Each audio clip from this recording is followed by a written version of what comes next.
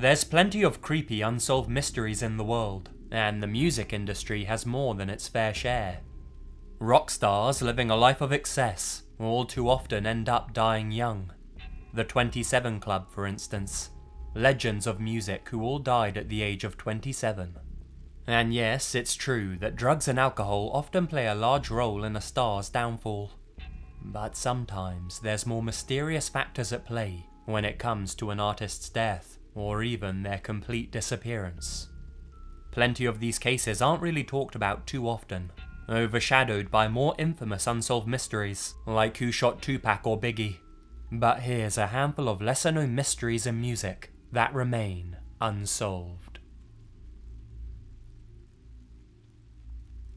Elliott Smith was a singer-songwriter responsible for recording some truly remarkable and melancholic music. He was even nominated for an Oscar for his song Miss Misery, used in the movie Good Will Hunting. His songs have also been featured in the popular show Rick and Morty. Tragedy struck in late 2003 when Smith's girlfriend came back to his apartment after an argument, only to find him dying.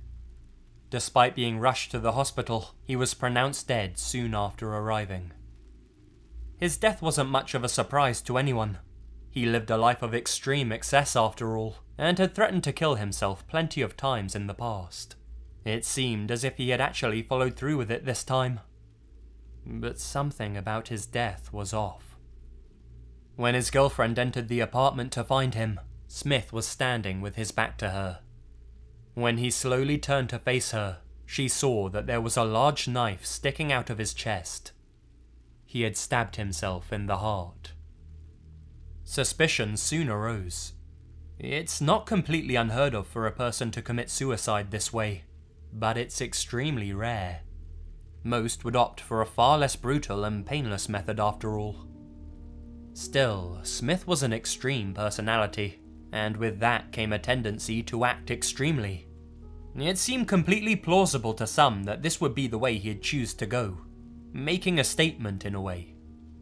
But four things make this case suspicious. Firstly, there were no hesitation wounds, cuts to the body, as the individual has an internal battle about whether they really want to go through with the act or not, before finally forcing the blade through. It seems almost impossible for a person to kill themselves in this manner without having any. Also to do with cuts is the fact that Smith's hands appear to be covered in defensive wounds, which occur when a person is trying to prevent somebody else from attacking them. What's more, the blade had been pushed through Smith's shirt. People who do kill themselves in this manner almost always remove their clothing so that they can gauge the right spot between the ribs to plant the knife. And finally, the knife had been shoved into his chest not once, but twice. It seems unlikely that he would have been able to force the blade through a second time. Detectives concluded that his death was suspicious, and that foul play appears to be a strong possibility though nothing has ever been proved conclusively. Elliott Smith's family is adamant that his girlfriend was the one who stabbed him following the argument. She denies these allegations wholeheartedly.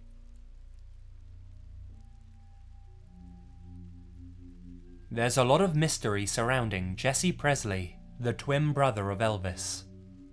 Most people aren't even aware that the king had a twin, but don't be too surprised if you didn't either. Jesse died during childbirth. Though over the years, he's become the subject of a number of convincing theories.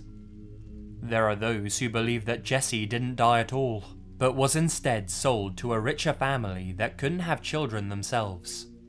Elvis's family was extremely poor after all, and coping with two children may have been impossible for them. There are even books that have been written about the topic, Though, for the most part, this is all just speculation. More strange is the impact that Elvis's separation from his brother had on him.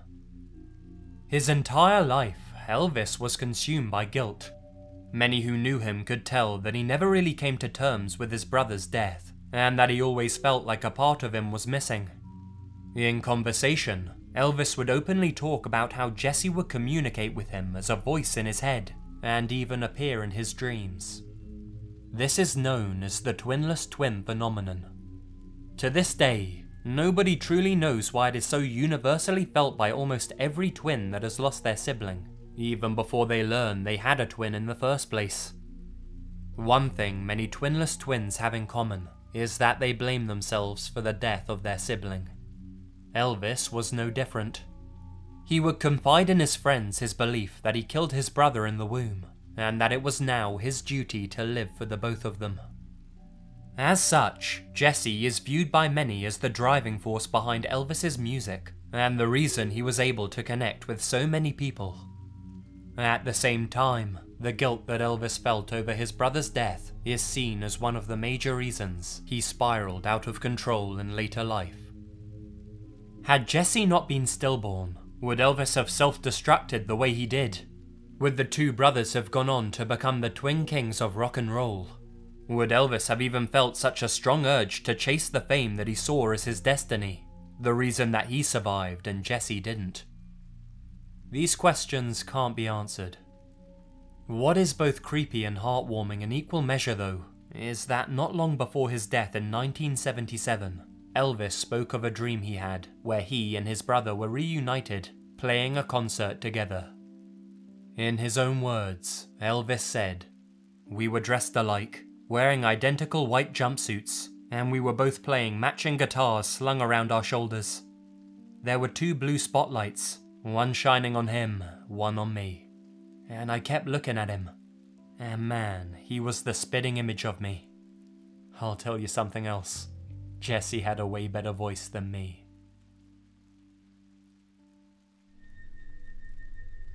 Bobby Fuller was a musician in the 60s, best known for his version of the song I Fought the Law, which was also later famously covered by The Clash. His music still lives on, but Bobby's life was mysteriously cut short in 1966, just as he was starting to make his mark on the music industry. The 23 year old's body was found in the driver's seat of his car, just outside his apartment in Hollywood. His face, shoulders, and chest were covered in bruises, and he was doused in gasoline.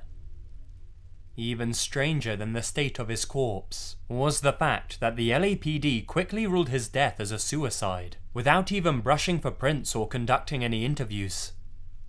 As you can imagine, it's more than just Bobby's friends and relatives who believe he was murdered.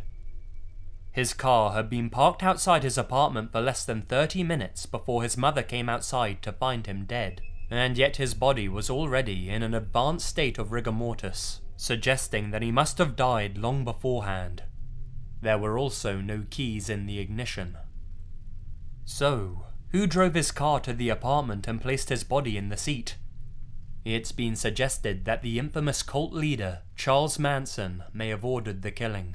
And others have speculated that the Mafia may have put a hit out on Bobby, due to his involvement with a woman who had connections to the mob. His brother and fellow band member, Randy, even published a book about Bobby's death, saying he believes that the mob did have Bobby killed after he tried to back out of a deal they had a stake in. Were the cops paid off? Too scared to interfere with the real culprits? Or did they possibly have a hand in Bobby's death themselves? We'll probably never know.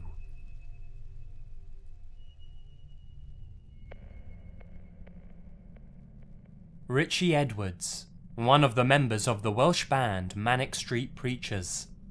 He's regarded as one of rock's greatest lyricists, having penned some of the most poetic and politically charged words ever put to music.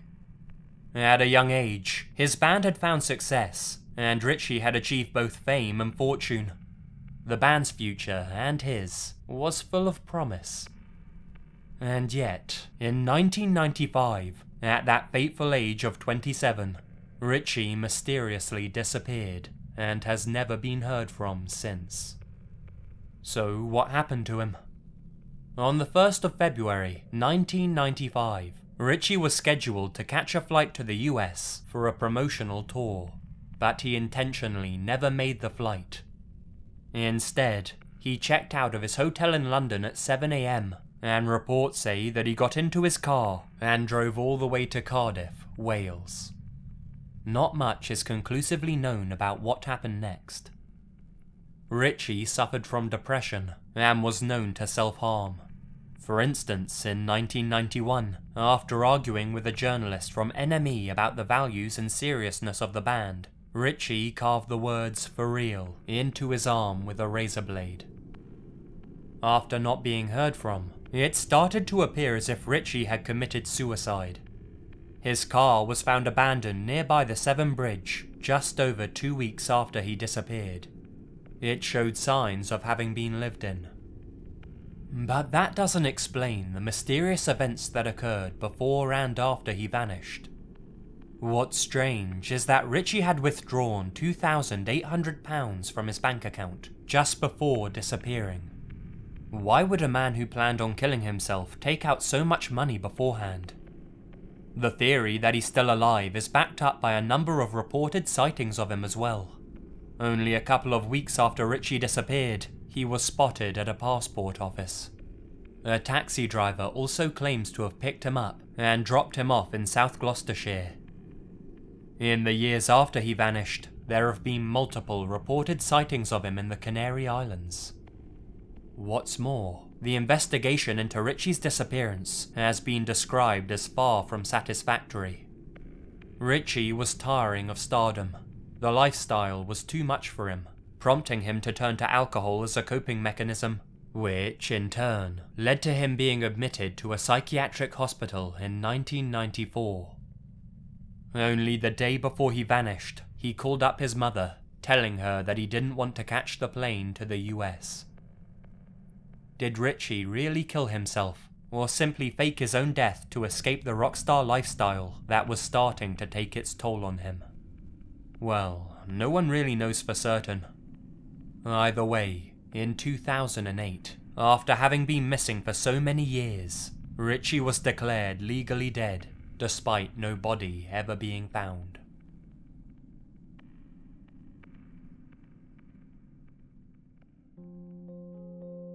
Peter Ivers was an alternative musician, known for writing some truly eerie music, such as In Heaven, an extremely creepy song featured in one of the most unsettling movies ever made, Eraserhead.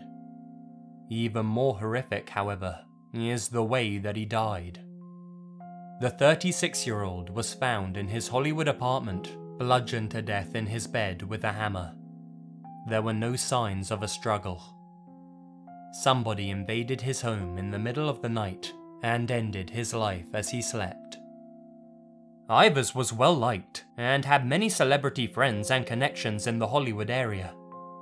When news of his death spread, his apartment was flooded with mourners who came to pay their respects.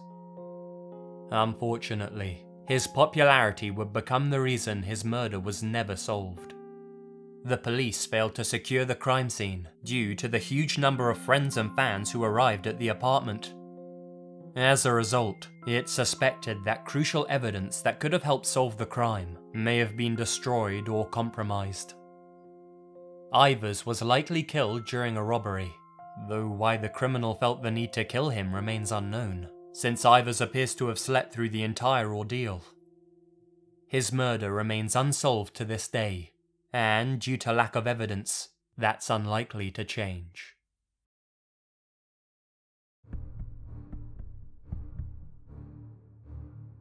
Hi guys, Lazy here, and thank you very much for listening. If you want to hear any of the songs I talked about in this video, I've left some links in the description for you, because obviously for copyright reasons I can't actually use them in the video. Not without getting the proper licensing, etc. Yeah, yeah, yeah, you get it.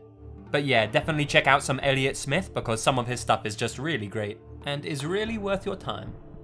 As always, don't forget to smash that like button, or I'll smash you. And I'll have another story video for you guys very soon. So until then, stay spooky.